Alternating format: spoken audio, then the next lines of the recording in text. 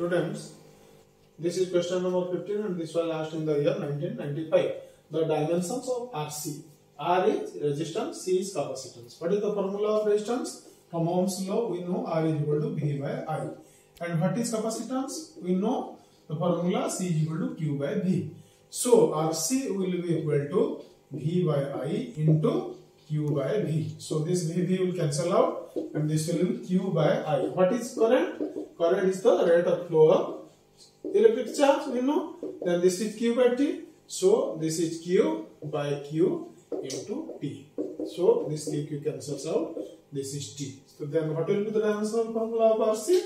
RC will have the dimensional formula T. So this option C is correct.